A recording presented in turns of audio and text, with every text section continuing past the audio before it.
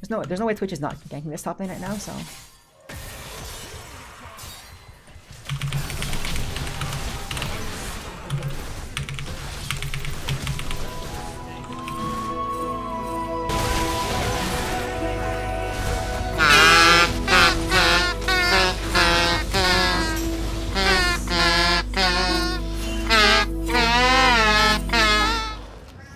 You're welcome.